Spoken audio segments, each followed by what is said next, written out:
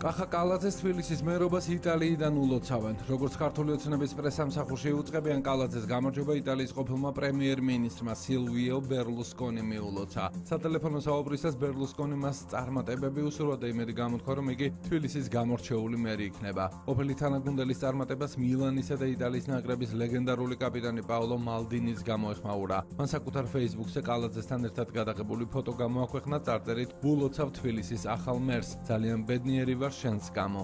სილვიო ბერლუსკონი იტალიის ყოფილმა პრემიერ-მინისტრმა კახი კალაძეს გამარჯვება მიულოცა თვითმართველობის არჩევნებში. და ქართულმა მედიამ, რა თქმა უნდა, გვახარა, მართლაც დიდი პატივი არის თითქოს ასეთმა დიდარმა ადამიანმა, სახელგანთქმულმა ადამიანმა. აა ფეხბურთის კლუბ მილანის ფლობელმა და იტალიის ყოფილმა პრემიერ-მინისტრმა ქალაქის მერს თბილისის მერს გამარჯობა მეულოცა. ბერლუსკონიზმზე არ არის, ბერლუსკონიზე უბრალოდ არ არის ჩვენი დღევანდელი გადაცემა სილვიო ბერლუსკონიზე. ჩვენ ვისაუბრებთ მოვლენაზე, რომელსაც კიდევ არ ქვით ბერლუსკონიზმი. მაგრამ მე და გრიგოლ გეგელიამ სანამ დაიწყებოდა ეს გადაცემა, სანამ დავიწყებით ჩაწერას, ბევრი ვიფიქრეთ რა უწოდოთ მაინც ამ მოვლენას. პოპულიზმი არ გამოდის, მაფიაც თლად არ გამოდის. არ ვიცი რა უწოდოთ, შეიძლება გადაცემის ბოლოს ტელემაყურებელს მოაფიქრდეს და გვითხრას თვითონ თავის თავს უთხრას რა არის ეს მოვლენა ბერლუსკონიზმი. თუმცა როგორც აღმოჩნდა, ეს მოვლენა არსებობს რეალურად უკვე. ვიკიპედიაში მთელი თავიც კი არის ბერლუსკონიზმი. ესე იგი ამ კაცმა რაღაც სახე შექმნა მაინც ისტორიაში განსხვავებული სახე შეიძლება ასე ითქვას. დიდი მადლობა გრიგოლ, რომ დაგვთანხმდი ამ გადაცემაში მონაწილეობაზე. დღეს საკმაოდ რთულ თემაზე ვსჯელობთ ჩვენ და ამავე დროს ნაცნობ თემაზე, ის რომ ბერლუსკონი გამარჯვება მიულოცა კახი კალაძეს, იმას ნიშნავს, რომ ხიდები არსებობს ამ მოვლენასა და საქართველოს შორის. დიახ, ნამდვილად არსებობს ხიდები. აა მადლობა თქვენ პირველ რიგში მოწვევისთვის. მადლობა რომ საინტერესო თემას ვაშუქებთ. მე მგონია ბერლუსკონის ფენომენი, რა თქვენ სამართლიან დაღნიშნავთ, კარგად აღნიშნავთ, რომ ეს არ არის მხოლოდ ერთი ადამიანის ფენომენი. აა და ის არც იტალიური ფენომენი არ არის ექსკლუზიურად. აა ის არის უკვე საკმაოდ ევროპული და შეიძლება ითქვას სოფლიო ფენომენი. კი, ამერიკულიც. ამერიკულიც. ამერიკულიც. კი ბატონო, ჩვენ ხედავთ დიდი ფულის პრიმატს, დიდი ფულის ბატონობას ფაქტია უკვე ყველგან. აა სოფლიოს პოლიტიკაში, ჩვენ ამას ხედავთ საქართველოს პოლიტიკაშიც, აი ჩვენგან ძალიან ახლოს არის თავარი ადგილი ტოპოსი ამ თქვა რაღაც საერთოდ მიიჩნევა რომ ეს ოლიგარქიული ძალაუფლება იფრქვევა სრულიად საქართველოს მასშტაბით. აა ეს საერთოდ გლობალური პრობლემად იქცა ის თუ რა ძალა გააჩნია დიდ ფულს და რა ეფექტები აქვს მას დემოკრატიულ პოლიტიკაზე.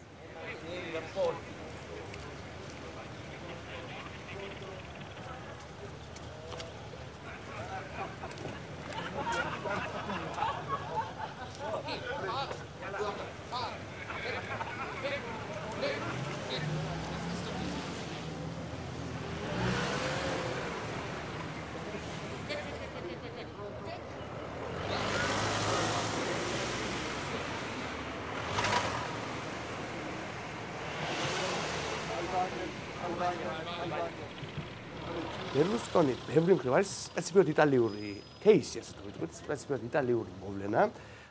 ის არ არის, აი ძალიან ხშირად ის ყოფილი ახკმული სხვა სხვა კომენტატორის მიერ, როგორც ვთქვათ, რაღაც გადაგვარება მთელი ჟანრიდან, რა ვთქვათ, პოლიტიკის მთელი ტრადიციული ჟანრიდან, რაღაც ტრანსგრესია, ხო, რაღაც განსხვავებულობა, რაღაც გადახვევა. მაგრამ სიმპლეში ის არის გამოხატულება პირიქით იტალიის საკმაოდ ტრადიციული პოლიტიკური მიმართულებების, იტალიის პოლიტიკური სულის გამოხატულება ძალიან ძალიან ბევრი მიმართულებით. ანუ ის არ არის რაღაც უცხოხილი, ასე თუ ვიტყვით, რაღაც გარე გარეგანი სისტემისგან შორს მყოფი ფენომენი, არამედ სისტემის მთელი ლოგიკის გამოხატულება. ანუ პროდუქტი, პროდუქტი იტალიური პოლიტიკის, ხო? აბსოლუტურად პროდუქტია იტალიური პოლიტიკის, იტალიური კულტურის ამასთანავე, იტალიელ ტემპერამენტის, ტემპერამენტის განწყობის, მათი შემართების ბერლუსკონი იყო რაღაც ისეთი სახე ამ ყველაფერს, რაღაც მასში მოიყარა თავი ძალიან ბევრმა სხვადასხვა მიმართულებამ იმისა თუ რა არის იტალიურობა, ასე თუ ვიტყვით, მაგრამ აგრეთვე იტალიის პოლიტიკის ისტორია.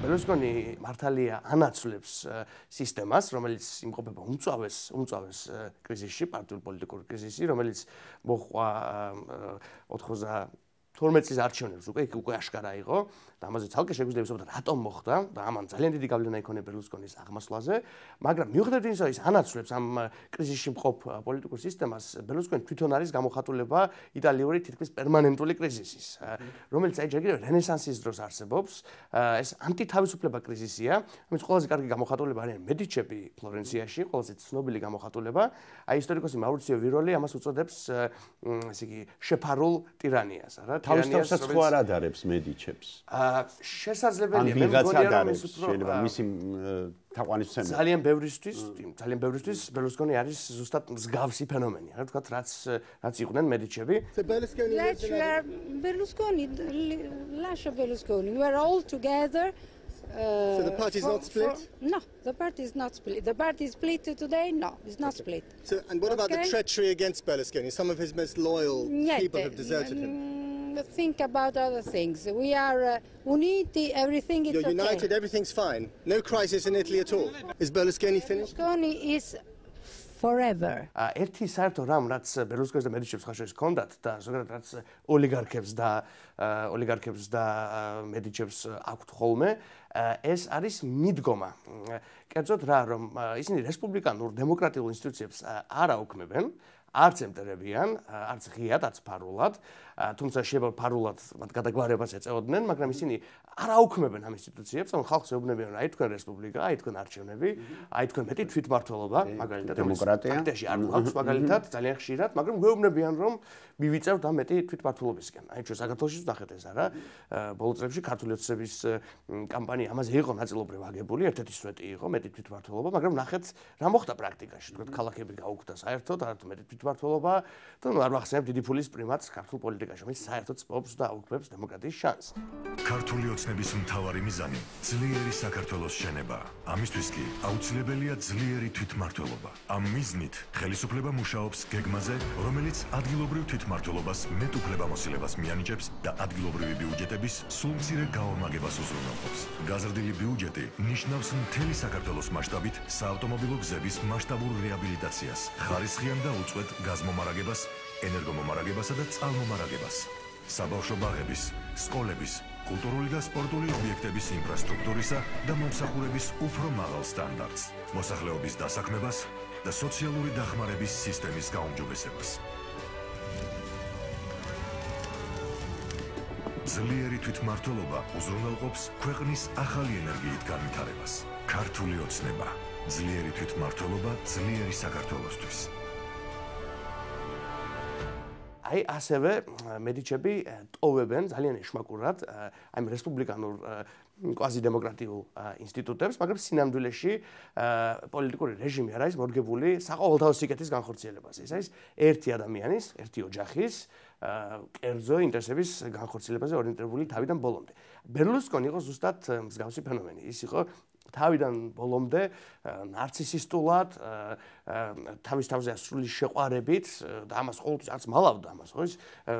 თელრიქ სახალისო მომენტებშიც ის ამბობდა ხოლმე ხო თქვათ რომ მისი ბედისწერა ამოგება მაგალითად აი ერთი ესეთი ფრაზა აქვს რომ მისი ბედისწერაა გამარჯობა არც კი შეიძლება რომ ხანეთ მოხდეს ეს რაც დაებედა რომ ყოველთვის უნდა იყოს გამარჯობა. კონდიციონარე და ნულა se non ბერლუსკონი ამბობს, ყველა შემთხვევაში ჩვენი მთავრობა სამომავლო ნაბიჯებს გადადგამს და ამ ფაქტზე ვერაფერი მოახდენს გავლენას კონსტიტუციისა და ჩვენი ევროპული ვალდებულებების გარდა. მათ ვინც უკან დახევას გთხოვს, ვეტყვით, რომ ჩვენ არასდროს და მით უმეტეს დღეს არ გავითვალისწინებთ ამ მოთხოვნას. როცა კოლაფსი განიცადა, ჩაიგეცა საჯარო გამოსვლისას და შემდეგ გულის ოპერაცია დაშირდა, ამის მერე მაინც ძალიან ამაღად აღნიშნავდა რომ ის ასოციციის დასაკამდე იცოცხლებს და რომ მასზე ბევრად უფრო ახალგაზრდა მამაკაცების სტამინა გააჩნია. იმუქრებოდა მაინც.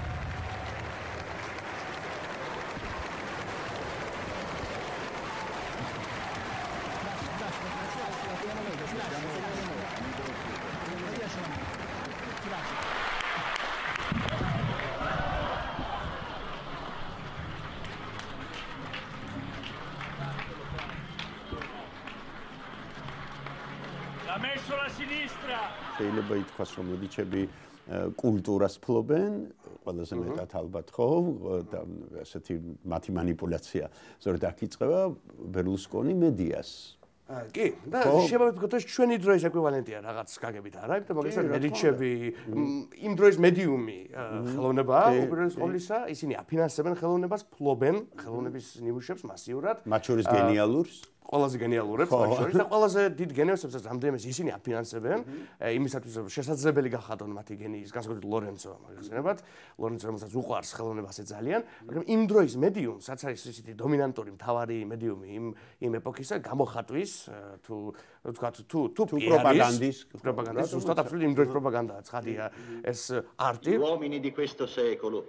ამ ქვეყნისა და ამ ქალაქის ადამიანებს ჯერათ რომ ყველაფრის მწოდნეები და ყველაფრის შემქმნელები თავად არიან. ისინი წარმართების ნაწერებს შეისწავლიან და ივიწყებენ, რომ სიცოცხლე და გონიერება მომდინარეობს სულიდან, რომელიც მათ ღმერთმა მიანიჭა. მათ ავიწყდებათ, რომ სულის კეთილშობილება უფრო მშვენიერია, ვიდრე მზე. თვარე და ვარსკვლავებით მოჭედილი ცადა, რომ მას ღმერთის სხვა ქმნილებათაგან არც ერთი აღემატება, რადგან ღმერთმა იგი თავის ხატად შექმნა. და ეს შევიდეს კაცი თავის საკანში და არავინ იყოს იქ ღმერთისა და საკუთარი თავის გარდა. განმარტოდით მამა ღმერთის წინაშე და იფიქრეთ. იფიქრეთ და განზე მოიტოვეთ ყველა სხვა საქმე თუ საკითხი. იმიტომ რომ სინდისი უფრო მნიშვნელოვანია, ვიდრე მიწიერი ამბები. ფულის შოვნა, ოჯახების რჩენა, მტრისგან თავის დაცვა. ყოველივე ეს მნიშვნელოვანია, მაგრამ მათზე მნიშვნელოვანი საკუთარი სულის გადარჩენაა. ფრესკებზე წარმოჩენი საგმირო საქმეები, ოჯახის გენეალოგიები, თელი სიკეთეები და სილამაზე ამ კონკრეტული ოჯახის. ეს იმ დროს პიარი არის და ისინი ფლობენ სწორედ დომინანტურად, ისინი ფლობენ ამ პიარ საშუალებებს. აი ასევე ბერლუსკონი მისი მედიასეტის კონგლომერატის საშუალებით ის აკონტროლებს იტალიური მედიის უდიდეს ნაწილს ჯერ კიდევ პოლიტიკაში მოსვლამდე. თუმცა თავიდან ის არიყენებს მედიას აშკარად თავისი სარგებლისათვის. მაგრამ როგორც კი გადაწყვეტს პოლიტიკაში ჩაერთოს მაშინ რა თქმა უნდა იყენებს იწებს ამ ყოველფრის გამოყენებას. მედია და ფეხბურთი. მედია და ფეხბურთი. ხო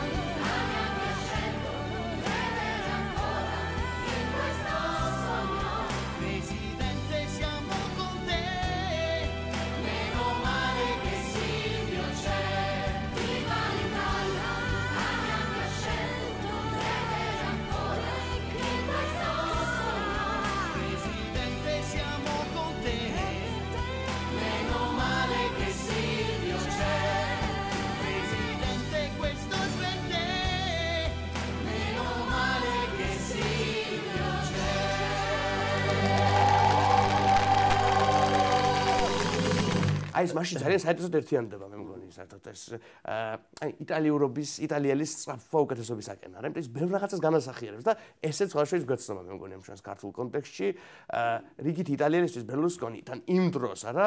მას შემდეგ რაც ეს გერონტოკრატიული ეპოქა თითქოს დასასრულისკენ მიდის ანუ ეს ძალიან მოხუცი ხალხით დაკომპლექტებული და საერთოდ იტალიას ხშირად უწოდებენ გერონტოკრატიას. იმიტომ რომ იქ პოლიტიკური ელიტები დღემდე არიან ხოლმე ტიპიურად ძალიან ხნიერი. აი გვაგონდება ჯორჯო ნაპოლიტანო 1925 წელს დაბადებული, რომელიც სულ ერთი წლის წინ გადადგა და ორი წლის მე ვნახე კონფერენციაზე, კვლავ ძალიან აქტიური, იქაც გამოდიოდა. აი ამ ტიპის პოლიტიკურ კულტურაში ბელუსკონი უცებ ჩნდება როგორც დიდი სიახლე. ეს ქარიზმაც აქვს მას, პოპულიზმიც აქვს, მაგრამ ასევე ყველა ტიპის იტალიელის კანდიდატია, ასე თუ ვიტყვით. აი მაგალითად, იმ ხალხს, ვინც პოლიტიკური და ეკონომიკური სისტემიდან გარიყული არიან, ის ეუბნება, რომ ის დააბრუნებს მათ ეკონომიკურ სისტემაში. ხოლო მათ, ვინც არიან ჩართული და უკვე თქვა რაღაც ეკონომიკურ სარგებელზე ფიქრობენ, მათთვის ის იდეალია, არა, როგორც თვით ნაკეთი მულტი მილიონერი, არა? რომელსაც უკვე აქვს იმ დროს ძალიან დიდი გავლენა მედიაზე, რომელიც ფლობს ძალიან წარმატებულ მედია კონგლომერატს და რომელიც განასახიერებს ახალი ახალი სტილის იტალიელ ფიგურას. ბოლო წლებში იტალია საკმაო პრობლემები დაუკრუდა. მათ შორის იყო საბანკო კრიზისი და ეკონომიკური ზრდის ნელი ტემპი, მაგრამ იტალიის ბანკი მომდევნო 2 წლის განმავლობაში 1.5%-იან ზრდას წინასწარმეტყველებს.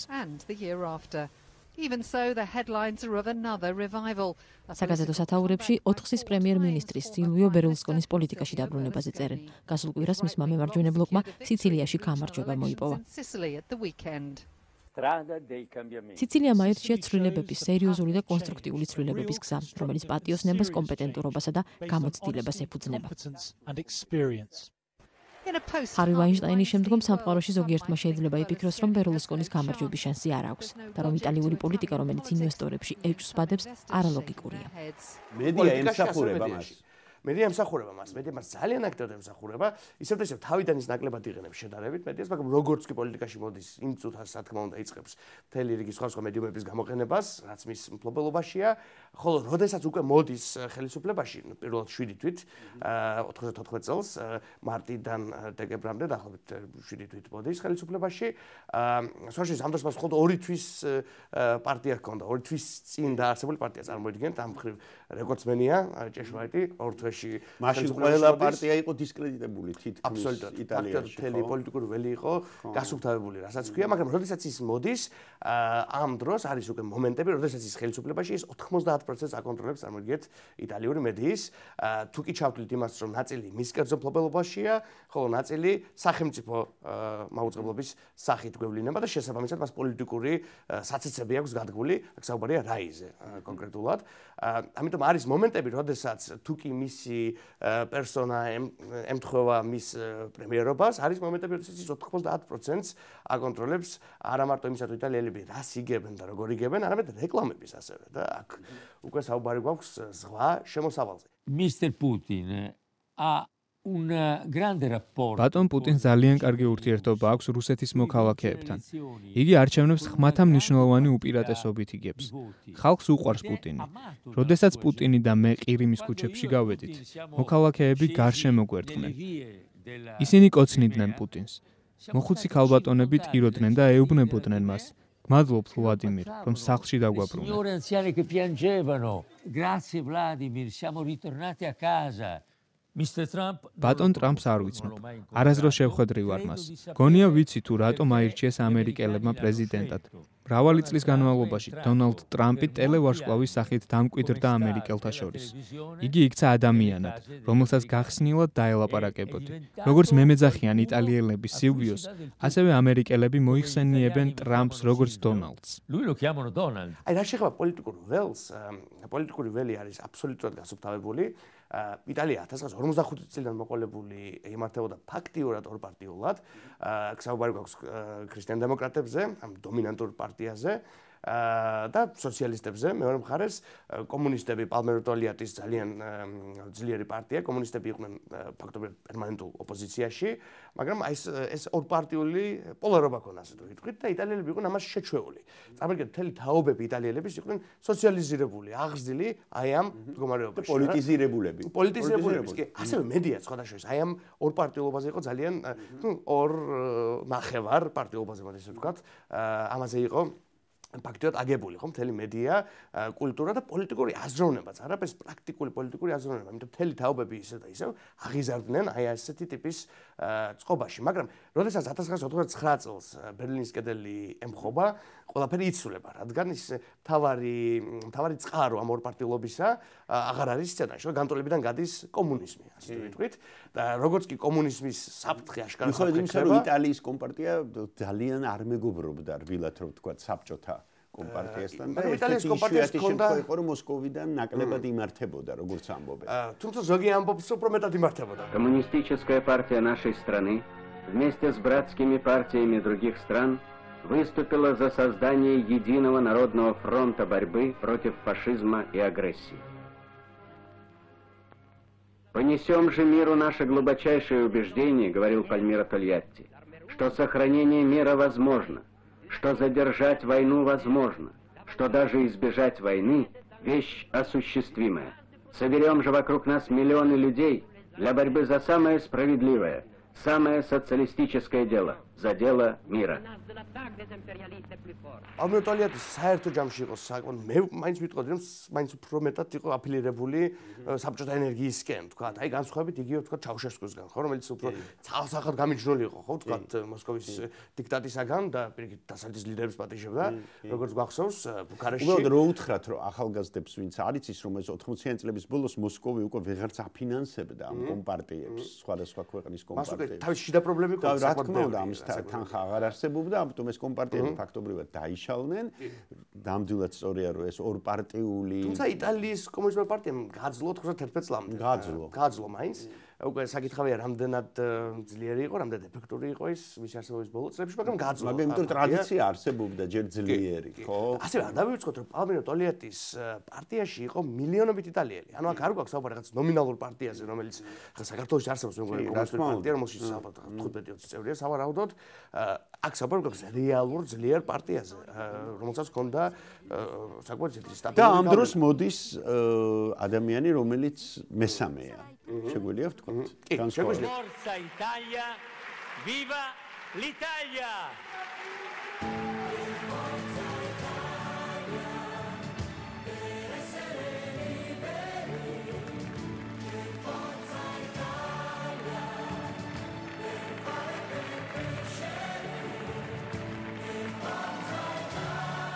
ეს ანტისისტემურია იტალიის ანუ სისტემის იმ გაგებით როგორც იმ დროს იტალიაში არსებობს როგორც როგორც თქვით 1945 წლიდან მოყოლებული იტალიელებს ახსოვთ და ეს იციან ეს არის მათი ცხოვრება ეს არის მათი რეალობა ამ დროს ანუ რა ხდება ეს კომუნიზმი? ეცემა ეს საფრთხე ქრება კომუნიზმის საფრთხე ქრება და იტალიელები უკვე ისეთ რაღაცებსაც აქცევენ ყურადღებას ასაც იქამდე უბრალოდ უგულებელ ყოფდნენ რადგან არ აწყობდათ იმიტომ რომ უფრო მეტი საფრთხე იყო. არა ვთქვათ რომ შეიძლება კომუნისტები მოვიდნენ. ვთქვათ იტალია შეიძლება გაწიწლდეს მაგრამ როგორც კი ეს აშკარა ესეც გვახსენებს ჩვენს ქართულ ორპარტიულ დიქოტომიას სადაც ერთი ფაქტორი არის კონკრეტულად ერთი პერსონის ფაქტორი ცოცხალი პერსონის ჩვენ შემთხვევაში რომელიც ყვებავს დღემდე ამ ორპარტიულ ეკონომიას. არა სააკაშვილთან დაკავშირებით ქართულმა მხარემ უკრაინას ექსტრადირების მოთხოვნა 1 სექტემბერს კიდევ ერთხელ გადაუგზავნა. ახალ წერილს წინ 2014-2015 წლებში გადაგზავნილი მოთხოვნები უძღოდა. ჩვენი მხრიდან ყველაფერი არის სამართლებრივად გაკეთებული იმისთვის, რომ უკრაინის პროკურატურას და უკრაინის იუსტიციის სამინისტროს ჰქონდეს ყველა დოკუმენტაცია, როგორც შინაარსობრივად, ასე ფორმალურადაც პროცედურები დავიცავით, შესრულებულია და ველოდებით უკრაინის სახელმწიფოს გადაწყვეტილებას. შეიძლება მიხეილ სააკაშვილთან დაკავშირებით კითხავთ. ყოფილი პრეზიდენტის შესახებ დასმულ კითხვას მოქმედი პრეზიდენტი დღეს აღარ პასუხობს. პარლამენტის თავმჯდომარე კი ამბობს, რომ სააკაშვილის სამართლებრივი საკითხები პროკურატურის პრეროგატივაა. პოლიტიკურად აქტუალური ჩვენთვის ეს საკითხი არ არის. შესაბამისად პოზიციაც ჩვენი არის მხოლოდ და მხოლოდ სამართლებრივი რაც შეეხება სამართლებრივ მხარეს ამ ეს არის რა თქმა უნდა შესაბამისი აღმასრულებელი სტრუქტურების პასუხისმგებლობა. რომ არ არსებობდეს ეს პერსონა კერძოდ საქართველოს მესამე პრეზიდენტი მაშინ ეს ორპარტიული დიქოტომია ჩამოიშლება მთლიანად იმიტომ რომ აღარ იქნება ეს საფრთხე ხო? თქვა რაღაც შემაშენებელი ფაქტორი რითიც ქართული ოცნება დღემდე ძალაუფლებაში ფაქტობრივად ერთადერთი რამ რითიც ის ინერციით აგრძელებს თუ კი რაღაც რეფორმაციას არ მიყო ხელი და როდესაც ეს ხდება იტალიაში უკვე იტალიები იწყებენ ისეთ რაღაცებზე ყურადღების მიქცევას, რასაც უბრალოდ არ უყურებდნენ. მათ შორის არის, რა თქმა უნდა, ეს მთელი სერიოზული საქმე, სკანდალური საქმე, კორუფციასთან დაკავშირებით, მაგრამ არის უფრო ტექნიკური საკითხებიც, ხო, თქვათ ისეთი როგორც არის, რამდენად კარგი არის ელექტორალური კანონმდებლობა, რამდენად კარგი არის სისტემა და ასე შემდეგ. და ამ დროს მოსამართლეებს უკვე მწვანე ენდებათ ასე თუ ვიტყვით, რომ აქტიურად გაასამართლონ პოლიტიკოსები, რომ რომ რევიზიონისტად გადაიხედოს ბევრი რამ, რაც 1945-დან მოყოლებული, აი კომუნიზმის საფრთხის არსებობის გამო უბრალოდ უგულებელ ყოფილი იყო. არავის არ დადებდა ამ ესე ვთქვით, ბრმა ხედვით უყურებდნენ, ხო? თქო, არ იმშობდნენ პრობლემის არსებობას.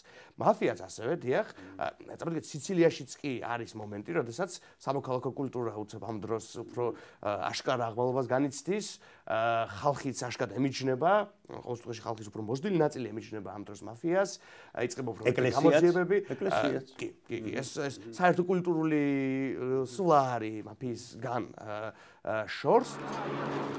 იტალიურმა პოლიციამ 40-მდე ადამიანი დააკავა გომორას, ანუ ნეაპოლური მაფიის წინააღმდეგ მიმართულ სპეცოპერაციაში. ყველა დაკავებული ქალაქის ჩრდილოეთით არსებულ კასალეიზის კლანს მიეკუთვნებოდა. ეს არის კლანი, რომელიც ციგნისა და ფილმის გომორას შთაგონების წყაროდ იქცა. რეიჩი 200 ოფიცერი იყო ჩართული და ქვეყნის მასშტაბით 10-ზე მეტი ადგილი მოიცვა. მეორე საკითხია ეს პრაქტიკაში რას აგვარებს და მაფია დღემდე არსებობს როგორც ვიცით თუმცა შეიძლება ვთქვათ რომ უფრო ნაკლებად გავლენიანი მაგრამ ის არსებობს და აქვს ეკონომიკური და პოლიტიკური გავლენა იმიტომ კაპიტალს ფლობს სხვადასხვა ფორმის მაგრამ ამ დროს პოლიტიკურად ხდება მისგან გამიჯრა ასე თუ ვიტყვით, ანუ რაღაც თქოს ახალი ახალი ფაზა იწყება და აი ამ ახალი ფაზის სახე ჩემი აზრით იტალიის სამწუხაროდ არის სწორედ სილვიო ბერლუსკონი, რომელიც არის განსხვავებული, რომელიც არის ისევ ისევ ამ იდეალების წესრიგის ახალი სახეა, ხო ვთქვათ, ისეთი ის ის წარმოადგენს ყველაფერს, ასაც ბევრი იტალიელი ესწრაფვის, არა? მასში ერთიანდება ფეხბურთი, პოლიტიკა, ქარიზმა, დიდარია, ქალები უყარს. ქალები უყარს, ხო ეს მისი აშკარა მაჩოიზმი, რომელსაც ყოველთვის მაქსიმალურად აფიშირებდა თვითონ, ამის რეკლამას ეწეოდა ყოველთვის. ექსცენტრიულია. ექსცენტრიულია ნამდვილად. ის არ არის ის ის გადაგვარებაა მთელი ამ ტრადიციული მორალის. არა, აი მთელი ტრადიციული მორალის, რა თქმა უნდა, ქრისტიანული მორალის, ხო, თქვათ, რაც ფუნდამენტური მორალია, ხო, კათოლიკურ იტალიაში, არამედ ასე ზოგადად მორალის, ზოგადად ადამიანური მორალის. Una ragazza molto carina. ძალიან ლამაზმა გოგომ რჩევა მთხოვა. მართლაც ძალიან ლამაზი იყო. ამიტომ უთხარი მდიდარი კაცი იპოვა აო, ზოგჯერ ლამაზ გოგოს შევხედავ, მაგრამ ჯობია ლამაზი გოგონები მოგწონდეს, ვიდრე გეი იყო. პრემიერ-მინისტრის საუბარმა ფემინისტების უარყოფითი შეფასება გამოიწვია. ამ ток-შოუში ბერლუსკონიმ ოპოზიციის წარმომადგენელ პოლიტიკოს შეურაცხყოფა მიაყენა. როზი ბინდი საუბრობს, დიახ, ის განრისხებულია. მას სულ უფრო ემატება სილამაზე და გონება კი არა. გთხოვთ, პრემიერ-მინისტრო, არა დავიღალეს რდილობიანი საუბრით იმ ადამიანებთან, რომლებიც ყოველთვის უხეშები არიან ჩემ მიმართ. პრემიერ-მინისტრო, საბედნიეროდ თქვენგან კარგულებაში მყოფი ხალი არ ვარ. არის ლიდერი, რომელიც მზად არის რომ რომის ცენტრში გამოვიდეს და ვთქვათ, როგორც ბევრმა იცის, პარკირების მუშაკის მიმართ რაღაც ბილწი ბილწი ჟესტები გააკეთეს. არის მას არაფერი არ ადარდებს, ხო? ის არის მეფე. თავის სამოსახლოში და ეს ადამიანი იმყოფება ევროპის სივრცეში. აჰა. ბებერი ევროპისა, სადაც ნუ სხვა ფასეულობებია ყოველ შემთხვევაში იყო ეს სხვა ფასეულობები. აი ეს ძალიან კარგი რაღაცა ასე თქვენ აღნიშნეთ, იმიტომ რომ ერთ-ერთი ევროპა რა იყო ზოგადად, რა ვთქვა და მეორე ევროპა რაც მივიღეთ ბოლო აწრევლებში ზოგადად. აქ მე მგონია რომ ნეოლიბერალიზმი როგორც ძალიან დომინანტურმა ენერგიამ, ხო, როგორც ფულის იდეოლოგიამ, დიდი ფულის იდეოლოგიამ და როგორც თავისუფლების ჭრილში ჩვენთვის შემოთავაზებული ყველაფრის გაყიდვის იდეოლოგიამ, აი ამან მიგვიყვანა სწორედ ამ ოლიგარქების ხანამდე, რომელშიც დღეს ვართ. ბერლუსკონი შეიძლება ყოფილიყო პირველი და მე მგონია რომ როდესაც დაიწერება ჩვენი ჩვენი ეპოქის ისტორია, მე მგონია რომ ბერლუსკონი იქნება ესეთ როგორ ვთქვათ, ესე იგი წყალგამყოფი ვთქვათ იმ ეპოქასა და ახალ უფრო ოლიგარქიულ ეპოქას შორის, რომელიც მისით იწყება, მაგრამ გრძელდება და გრძელდება, რა. ანუ მისით იწყება, მართლა მისით იწყება. პირველი ინაუგურატორია, ასე თუ ვიტყვით. ის ინაუგურაცია ევროპის სივრცეებს, გადადის ამერიკაზე. გადადის ამერიკაზე, მაგრამ ასე ვიშეგრადის სახელმწიფოებში, ხო, თქვა ჩვენს ფართო რეგიონში რაღაც გაგებით, ასე თუ ვიტყვით, იქაც ხდება მსგავსი რამ, აი მაგალითად დღევანდელ უნგრეთში, ერთი მაგალითი რომ ავიღოთ, სამხრეთ კავკასიაში ხომ ხდება და ხდება და არავის ნეგო შეხება არ შეიძლება. რამდენი მაგალითი გვაქვს? მარტო ჩვენს ქვეყანაში რამდენი მაგალითი გვაქვს? აა ის რომ მე გიყურე თქვენ გადაცემაში, როდესაც ყოველდღიურ 20-30-ში საკითხის ნაწილი გადიოდა და თქვენ მოწეული ხავდათ. პირველი მოადგილე ფინანსთა მინისტრის, გასაგებია რომ ის აკეთებს მინიშნებას რომ კანონში ესე წერია და კოდექსი ამის უფლებას იძლევა. სწორედ რომ ბიზნესმენებმა უნდა იაქტიურონ, უნდა წამოწივნეს საკითხი საზოგადოებამ მთლიანად და თავრობაც უნდა იყოს ძალიან ფრთხილად. რამე თუ თავრობას ვინც არჩენს ეს ბიზნესია და ბიზნესიდან ამოღებული ფულია. მაგრამ აი კიდევ რა შეიძლება საქმე ბერლუსკონის სახით იტალიაში ახალი ტიპის მემარჯვენეობა შემოდის ასევე, რომელიც არის უფრო ისეთი ტეტჩერისტულ, რეიგანისტული, აი ნეოლიბერალური მემარჯვენეობა, იმიტომ რომ მემარჯვენეობა რაც იქამდე არსებობდა იტალიაში, ხო, ეს დომინანტური მემარჯვენეობა, რომელიც 1945 წლიდან აკონტროლებს ფაქტობრივად, ფაქტობრივად უწყვეტად აკონტროლებს იტალიას, აი ანდრეოტის და ალჩიდე დე გასპერის მემარჯვენეობა, ის იყო სხვანაირი. ეს იყო ქრისტიანული დემოკრატია, გაცილებით უფრო მდიდარი სოციალური დოქტრინით. კონსერვატორები იყვნენ, მაგრამ სოციალური დოქტრინა ჰქონდათ ბევრი მემარცხენე პარტიისთვის შესაშური. ძალიან კარგი, ეს ქრისტიანებიდან გამოდიოდა, ხო, ქრისტიანობის სოციალური დოქტრინიდან. და რიგ მომენტებში, თქვა, აი იონე პავლე მეორის სოციალურ ხედვებსაც, თქვა, თანხმედაში იყო ამასთან, რა, თქვა, რაც მე პოლონეთშიც იჩენს თავს მუშათა საპროტესტო ბრძოლების დროს, რა.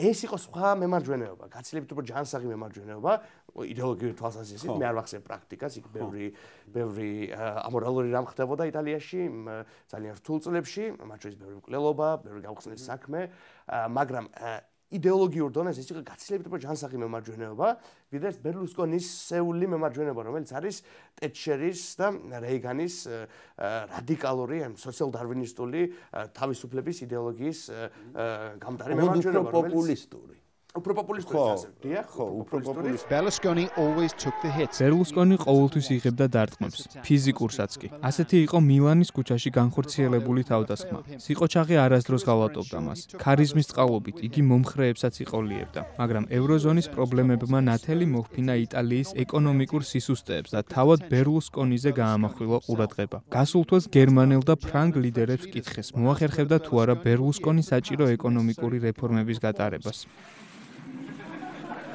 მე თუ მკითხავ ზოგადად პოპულიზმი ფაქტიურად ყველა მათგანს ჰქონდა გარკვეულ წილად. რა უცბად ზავნა ჟღერდეს, ხო? იგივე ტეტშერი, ხო, რომელიც თქვა შეიძლება აღვიქვა ძალიან ის მებაჯოი კონსტიტუცია სიამბლეში ძალიან რევოლუციონერი და რაღაცაზე პოპულისტიც კი იყო. თვითონაც კი თავიდან ყოველ შემთხვევაში სანამ არაპოპულარულ თქვა პოლიტიკას არ გაატარებდა. პოპულიზმის ნამდვილ არს თუ ავიღებთ, ნებისმიერ რევოლუციონერ რაღაც დონეზე არის პოპულისტი, იმიტომ ის ხალხსა და არსებულ წესრიგს შორის გავლებულ დიქოტომიაზე აგებს თავის კარიერას და ბერლუსკონი არის ზუსტად ეს. ის აი არსებულ სისტემაზე ხო 45 წლის შემდეგ რაც იყო, აი ამ სისტემაზე უარის რადიკალური განცხადება არის. და მოდის აი ამ ეკონომიკით და აი ამ ახალი ეთიკით, რომელიც არის თვით ინტერესზე და ეკონომიკურ თავისუფლებას აღებს პუტინს. კი, ეს მნიშვნელოვანი მოვლენაა ცოტა ხნით ადრე. კი, შემდეგ ემეგობრება კიდეც. ძალიან, კი, მაგრამ ძალიან საინტერესოა რა, რომ სხვაშორის პუტინის მიერ ნაჩუქარი საწოლი აქვს მას. და როგორც მოვისმინეთ ერთ-ერთი ბრალდება მის მიმართ იყო რომ მას არასრულწლოვან გოგოსთან ჰქონდა სქესობრივი კავშირი. და ამ გოგოს განცხადებით, ამ გოგოს განცხადებით პუტინის მიერ ნაჩუქარ საწოლში ხდებოდა ეს ყოფილი და ეს მე მგონი არ მარტო კომიკური, არამედ ძალიან სიმბოლურიც ამ თავს ჩვენს ეპოქაზე, აი ამ პოპულისტებზე და აი ამ დიდი ფულის ბატონობაზე პოლიტიკაში. სადამდე მიგვიყვანა საერთოდ აი რა სახე მისცა ზოგადად ცივილიზაციას და რა სახე მისცა ზოგადად დემოკრატიის ან პოლიტიკური თავისუფლების განცდას, ხო? აი სრული ატროფია.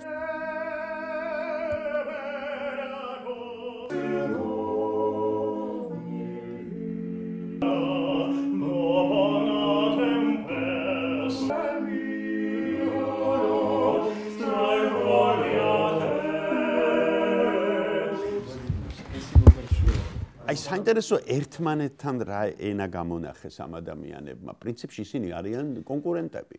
მმ, რაღაც დონეზე შეიძლება ვთქვა, კონკურენტები არიან, თუმცა ძალიან ბევრი სხვა მიმართულებით არ არიან პრინციპში კონკურენტები. ანუ იტალიას ზოგადად აქვს ეს ორგვარი მიდგომა ყოველთვის, აი საგარეო პოლიტიკაში, ძალიან ტიპიური მიდგომა აქვს, რომელიც მიხედვითაც ის ცდილობს, რომ ნაწილობრივ მისდევდეს თქვა უფრო ევროპულ პოლიტიკას, საგარეო ჭრილში ან ევროპულ საერთო პოლიტიკას, მაგრამ ნაწილობრივ ყოველთვის აბალანსებდა და აბალანსებს რუსეთთან ურთიერთობას, ასაც ცხადია ეკონომიკური საფუძვლები გააჩნია პროეს ყოვლისა.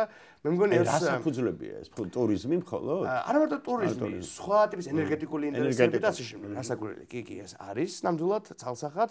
ამას რუსეთი ყოველთვის იღენებდა სათავისოდ და ბერლუსკონის ტიპაჟის ლიდერი მათთვის ცხადია მომგებიანი, იმიტომ ის ისე ატიპი აქტიურია ის ჟანრის სუბვერსია არის არა აი რატომ არის რომ ყველა სხვა პოპულისტ ლიდერთანაც კრემლი სუნცია მეგობრობს ანუ ბევრ მაგას აფინანსებს ძალიან პირდაპირ მაგალითად ავსტრიის თავისუფლების პარტიას რომელიც უკვე ძალიან დომინანტურია ხო 100000 ევროს გადარიცხული ეს ოფიციალურად ვიცით პუტინს საჩუქრად ლეპენს გადაფინანსებს და რაშა ტუდეიზე ასაუბრებს ხო конечно что сейчас активно развивается предвыборная кампания во Франции мы ни в коем случае не хотим влиять на, на происходящие события.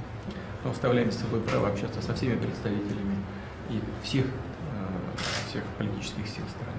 Так же, как делают наши партнеры в Европе, в Соединенных Штатах. ყველა ესეთი სუბვერსიული ტიპაჟები მას აწყობს ევროპულ პოლიტიკაში. აა ნაწილობრივ იმიტომ რომ მათით აჩვენებს თუ რა გადაგვარებული ევროპული პოლიტიკა.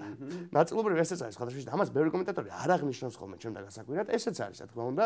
და მე მარტივია თქვა, რომ ნახე, აი, იქაც არიან, თქო, ჟინევსკის მსგავსი კლოუნის ტიპაჟები, ხო, თქვა, თქონს, ამით მინდა ვთქვა, რომ კლოუნებს არაფერს არ ვერჩი, უბრალოდ კარნავალი, კარნავალიზაცია მინდა აღწევ, აი, ბახტინის სოციალიტეტის მიხედვით, ხო, ეს ქაოსი და ქაოსის და იუმორის ნაზავი, ხო? და აი მართლა კარნავალია თავიდან ბოლომდე სილვია ბერლუსკონი. და გართობა საზოგადოების. კი, გართობა არის. ხო, ნამდვილად. აშკარა გართობა. ანუ რეალური პრობლემებიდან გადატანა. ჩვენ არც ისე დავიწყოთ, ის პროფესიით გამრთობია რაღაც დონეზე, რა ის აი ამ ზღვა კაპიტალს, უდიდეს კაპიტალს, აი ამ გართობის ინდუსტრიაში შოულობს რაღაც გაგებით გართობის ინდუსტრიაში, რეკლამით, ვთქვათ, მარკეტინგით, ხო, ვთქვათ, პროდუქციის შექმნით.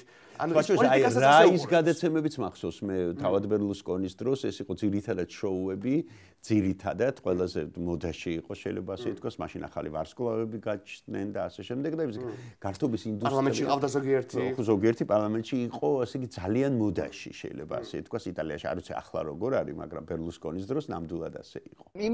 ბევრი ადამიანი საუბრობს იმაზე რომ ტრამპი სილვიო ბერლუსკონის ამერიკული ვარიანტია. ეს მოგწონთ არა ასეთი განცხადება ჩემში არანაირ გზნობას არ იწვევს. ხალხი ბევრ რამეზე ლაპარაკობს. ანუ იგი ბერლუსკონის ამერიკული ვარიანტი არ არის. ტრამპთან დაკავშირებით შემიძლია ვთქვა ის, რომ როგორც ბევრ კაცსა თუ ქალს მელანია მეც მომწონს. მისი სილამაზის, სტილის და შარმის გამო. ოდესმე შეხვედრი ხართ მელანიას? არა, ანუ შთაბეჭდილება სატელევიზიო ეკრანებიდან შეიქმენით. დიახ, და ასევე, ბევრი კარგი რამსმენია მასზე. ამერიკელი დემოკრატებიც კი არ აკრიტიკებენ მელანიას. Non hanno critiche da rivolgerle. ასე ხოშე ამაზე მაგონდება მატეო რენცის რომელიც თეორიულად არის მემარცხენე პოლიტიკოსი, ყოველ შემთხვევაში ცენტრისტი მემარცხენე, მაგრამ პრაქტიკაში ძალიან ბევრი მემარჯვენე მემარჯვენე იდეოლოგიის პოლიტიკური რეფორმა გაატარა, მას ადარებენ ბერლუსკონის ძალიან. და აი არის კიდევ საუბარი იმაზე, რომ ბერლუსკონიმ შეძლო, გარდა იმისა, რომ პრემიერობის შემდეგ მას კვლავ აქვს ძალიან დიდი გავლენა და ექნება მანამ სამ ცოცხალია, რომ ამის გარდა მან შეძლო ბერლუსკონიზაცია იტალიის პოლიტიკის და რომ ის რჩება და რჩება.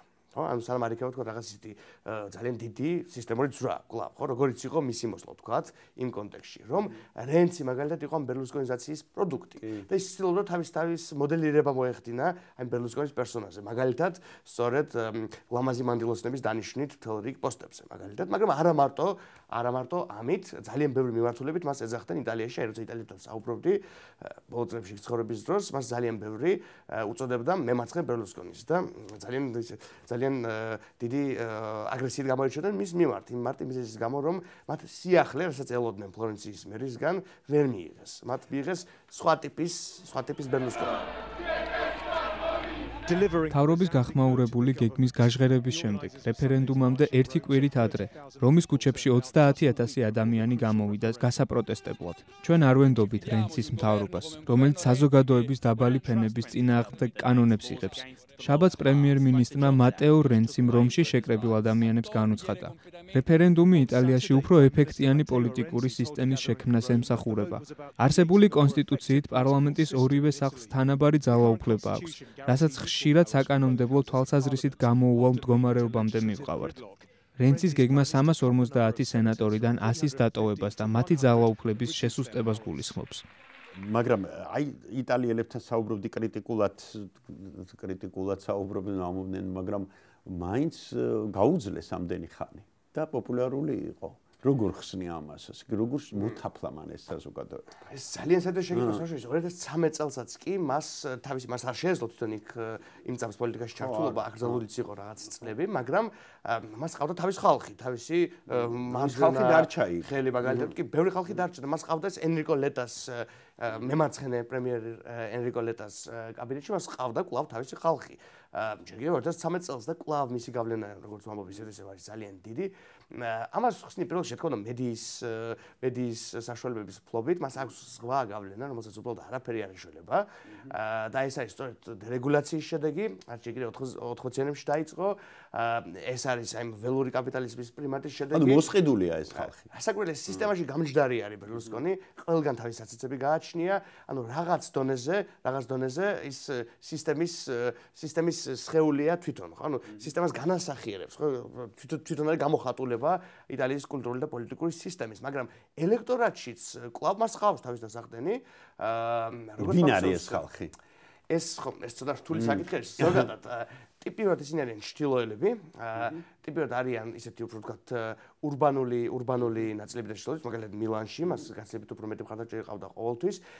სხვაშორის ამაზე მაგონდება, მას э, მუშათა კლასში, იტალიურ მუშათა კლასში э, ყავდა საკმაოდ э, მუშათა კლასის სახით მას ყავდა საკმაოდ ძლიერი მხარდაჭერი სოციალური ჯგუფი, რაც მაგონებს კიდევ ერთ ფართო ტენდენციას, რაც არ არის, თქვათ, სპეციფიკურად იტალიური, არამედ ყველგან ხდება, მათ შორის საქართველოში ხდება, ხდება ამერიკაში, კერძოდ ის, რომ რატომღაც ის ადამიანები, თქვათ, მუშათა კლასი, რომელიც ყველაზე მეტად უნდა სოციალისტურ, თქვათ, სოციალ-დემოკრატიულ, ფართო გაგებით მემარცხენე პოლიტიკას მისდევდეს, ეს ხალხი ძალიან ხშირად ითაფლება ვთქვათ ისეთი რაღაცა ოლიგარქიული ოლიგარქიული სენტიმენტებით ოლიგარქებს მიყვებიან მარტო საქართველოშიც საქართველოშიც კი ბატონო. თქვენ გეკნებათ საშუალება. კიდევ კიდევ გახსენებთ რომ იქნება საშუალება იაფი და იოლი ფულის. იაფი და უფასო ფულისაც კი თუ გნებავთ ეს იქნება 10 წლიანი და 20 წლიანი და თავისუფლად ვინც იქნება აქ ისეთი ბიზნესმენი ვისაც ექნება ამის მიდრეკილება მას ექნება საშუალება. აიღოს იაფი და უფასო ფული და და აშენდეს საკონსერვო ქარხანას და მოხერხდეს დასაქმება კიდევ დამატებითი ხალხის რომ გადამამუშავებელი ქარხანა დაფუძნდეს დაფუძნდეს ჩვენ თქვენს რეგიონში. მე ძალიან კარგად აი ეხლა მაგალითად ჩვენ ამერჩიეთ ძალიან დიდარი მერი მაგალითად რა ისიც ბერლუსკონის გასა მე ბერლუსკონის მას არ ვადარებ არც ერთი მიმართულებით ჯერ არ ვადარებ ხოლმე და არ მგონია რომ მოდეს ამის შანსი მას ეკნება ან რესურსი ბერლუსკონი უნდა დაიბადო და საერთოდ სხვა მასალა უნდა იყოს ამისათვის. თუნდაც ტემპერამენტით და კალაძეს არასდროს არ ქონდა ჩვენ გვახსოვს ალთენტური კალაძე წლების წინ სულ სხვა ადამიანია და მედიჩები მედიჩების ტრადიციას უნდა ატარებდე კი. კი, რასაკვირველია, ანუ კალაძე გაცილებით უფრო სხვა მიმართულებით წავა, რომლიც სხვა საკითხი, მაგრამ სხვა მიმართულებით წავა და არა ამ მიმართულებით, მას ამის მასალა არც აქვს და არც გონია რომ დუდეს მაინც და მაინც, მაგრამ მსგავსება არის, ხო, თქვა იმაში, რომ აი ეს ეს ხიბლი, რაც თქვა ბერლუსკონის ჰქონდა რაღაც დოზით, არის ის ხიბლი, რომელიც კალაძესაც აქვს, ხო და შეიძლება, ხო? რაღაცით ის წარმოადგენს იმასაც ბევრ ქართულს სურს, ხო? არა მარტო თქვა სიმდიდრე და თქვა გავლენა, რომ თქო ვიზე პრემიერ-მინისტრი იყო და ასე შემდეგ, არამედ შარმი, სტილი, ქარიზმაც აქვს, მე ვიტყოდი თავისი სპეციფიური, ცოტა განსხვავებული ვიდრე ტიპური ქარიზმა, მაგრამ აქვს ჩემი ეს ქარიზმა. ანუ ის ბერლუსკონის გავსად და ის ისაერთებს ფეხბურთს და ფეხბურთს და პოლიტიკას, მაგრამ ის ასევე არის idеალი ძალიან ბევრისთვის წარმატებისა, ხო? არაფრიდან ბევრის მიღწევისა. თავზე ჯაჭულიანიც ხო არ შეუშვათ იქედან? თავ თავ ხისტი ფეხბურთელი. მოდი მოდი მაშინ გაუნახლებობას დაუყენოთ სოსო. აჰა. იმედია და თუ ღარიბას გადაცდა აქ. ვაი და გადაცდა. ვაი და გადაცდა სოსო აქ არის. всё. всё. თავი შეაგდებს თავი მაგარია, მაგარი მაგარია. კი ბატონო. ეგ პრობლემაც მოვაგვარეთ. ეგ პრობლემაც მოვაგვარეთ. მოდი მანდილოსნებით ჩავრთოთ მაშინ. ჩავრთოთ. აუცილებლად რა ქალბატონი კაცსა ქალბატონი იდაშელი რომ დაუყენოთ მე მგონი ღალატს უნდა მოერიოს აბა ჟაო გამოგიშდა საქმე. ესე? აი ნორმალია მოიწევ შავია ნორმალია გადიოდა გადიოდა. არ მიდავე. ეს ჩვენ არ ყოლია ასეთი რამ. პრინციპში აი ხო რომ გავიხსენოთ არჩევადნაძე ანუ შევარდნაძე ნაწილობრივ. მაგრამ სხვა სხვა რაღაცა იყო ხო? იქ უფრო ქართული სნობიზმი ჩაერთო რომ ბერლინის კედელის დამანგრეველი კედელი დაანგრია და არც სააკაშვილ სააკაშვილშიც არ იყო ეს რომ აი უბრალოდ ბიჭმა წარმატებას მიაღწია. ანუ ეს რაღაც ახალია. დიახ, უბრალოდ აი ვიტყოდი რომ აი მოდი ისე ვთქვათ კაპიტალისტურ ისტორიაში, ხო, 25 წელიწადში, ხო, კომუნიზმის შემდეგ, ჩვენთან ასეთი რეალურად მე მის ვაგონება, ნუ აქტიური ლიდერებიდან და არა ზოგადად პოლიტიკოსებიდან, ასეთი არის ბიძინა ივანიშვილი, ალბათ ყველაზე მეტად თუმცა კალაძე კიდევ სხვანაირად ხო? და ბიზნესმენი არ არის სოფლიოდონის სელებრიტი ხო? თქვა ისე როგორც თქვა კალაძე არის. ეხა შეიძლება არ იყოს რაღაც გლობალური სელებრიტი მაგრამ არის სოფლიოს მრავალ ქვეყანაში მას იცნობენ. ანუ სხვა ტიპის შარმს სხვა ტიპის ცნობადობას და სხვა ტიპის სიახლის წარმოადგენს. რაღაც დონეზე და აი ამიტომ მე მგონი ძალიან ბევრი ქართული არა მარტო ახალგაზრდებისთვის სხვათა შორის. მე ახლა ხა ვესაუბრებ თქვა ადამიანს რომელიც უკვე 80-ს გადაცილებულია თვითონ ძალიან კარგი პროფესიონალია ძალიან მაღალი ხარისხის მატარებელი აკადემიაში, ძალიან კარგი შემართების და ის მაგალითად თulis ასევე რომ ამ კაცმა მიაღწია ბევრ რაღაცას და ეხლა უნდა რომ თავის ქალაქს ყოველ შემთხვევაში ქვეყნის არის არის იმის შესაძლებლობა რომ კალაძე გახდეს კიდევ უფრო პოპულარული ვიდრე ივანიშვილი. აი ამის გამო რაც თქვი. არის არის. რა თქმა უნდა არის. ძალიან შექსპირი იქნება. იქნება. და მე მგონი ამას ივანიშვილი უკვე გზნობს. კალაძის ბერლუსკონიზაციას არ ველი. მონაცემები დაიბადა 1978 წლის 27 თებერვალს და მას შემდეგ ცხოვრებისეული გზა ასე განვითარდა. 9 წლის მანძილზე იყო საფეხბურთო კლუბ მილანის წევრი მილანში. ჩარიცხვამდე იგი თბილისის დინამოსა და კიევის დინამოში თამაშობდა ის ყველაზე მეტჯერ 5 ჯერ დაასახელეს წლის საუკეთესო ქართველ მოთამაშედ. 2001 წელს გახდა ყველაზე ძვირადღირებული ქართველი ფეხბურთელი მილანმა მის ტრანსფერში 16 მილიონი ევრო გადაიხადა გახდათ. საქართველოს ენერგეტიკის მინისტრი ახლა უკვე თბილისის მერობის პერიოდი იწყება. ვნახოთ აქ რა მიღწევებს შევაჯამოთ რამდენიმე ხანში. მანამდე სტარტი განვიხილოთ. განხილოთ. თბილისის მერი კახი კალაძე გადაცემაში. ეთერშია წარმატების ფორმულა. გვანცალაღიძესთან ერთად. ეს დამამატებდა ეს ეს ეს ეს მიდგომა მე მესმის ხო რომ ხალხს უყარს წარმატება რატომაც არა. და მეც მომწონს წარმატება ხო თუ კი ადამიანი შრომობს და თავისი შრომით რაღაცას ახორციელებს რატომაც არა? არ მინდა რომ ის კრიტიკოს აღჩვანდე არა მაგრამ თავარია შენ განუხორციელობა სხვაში რო ხედავ და ხო. აი ესა ეგ ასევე ესა პრობლემა ჩვენ კლასობრივ ჭრილს უნდა შევხედოთ ვინ არის ჩვენ მხარეს ხო? კარგი წარმატებული მაგრამ ვის მხარეს არის ის? ვის ინტერესებს გაატარებს? რა არის პოლიტიკა რომელიც შენთვის არის? იმიტომ აი იტალიამ როგორც ნახეთ 94 წელს ძალიან მარტივად იყიდა ბერლუსკონი. ძალიან მარტივად თელი თავისი შოუთი და ის ძალიან ნიჭიერი შოუმენი იყო და არის მაგრამ რა მიიღო არანაირი ეკონომიკური სარგებელი რეალურად მიიღო სირცხვილი, იმიტომ რომ სახელმწიფოს წარმოადგენდა ეს აბსოლუტურად აბსოლუტურად არ ვარც ვიცი, აბსოლუტური სუბვერსია მთელი ჟანრის, მთელი მორალის, მთელი სოფლიოს დასაცინი გაიხადეს თავი, ის არ იყო ძლიერი ლიდერი ფაქტობრივად არც ერთ მიმართულებით. რა მიიღო იტალიის მუშათა კლასმა მაგალითად, ხო ვთქვათ? ან საშუალო კლასმა, ხო ვთქვათ? ეხლა რა მიიღო 10-15-მა თანაოლი კარგმა ეს ვიცით, ცხადია, ხო ვთქვათ? მაგრამ რა მიიღო ჩვეულებრივმა ხალხმა? აი ამაზე მინდა ხომ ძალიან ხშირად უფრო ხშირად იყოს ფიქრი, ხო? იმიტომ იგი იტალია, ამერიკაში ვთქვათ, ტრამპის მხარდამჭერები, ხო? ძალიან ბევრი მათგანი იყო სამწუხაროდ მშობელთა კლასის წარმომადგენელი და ისინი მოტყუდნენ, ისინი ამ პოპულისტურ მესიჯებს გახვდნენ, ხო, რომ ეს მილიონერი იქნებოდა მათ მხარეს. ეს არ ხდება ძალიან ხშირად, იმიტომ რომ ოლიგარქებს სამწუხაროდ, თუმცა კალაძეს არ გულისხმობს, ხმებს, მაგალითად ბატონ ივანიშვილს და არა მარტო დიდი ფულის პატრონებს პოლიტიკაში ყოველთვის აქვთ თავისი ეკონომიკური დღის წესრიგი. და ისინი ბიუჯეტს და ყველა პოლიტიკურ მექანიზმს ამისთვის გამოიყენებენ. აი ბერლუსკონი არის ამის კლასიკური განსხეულება.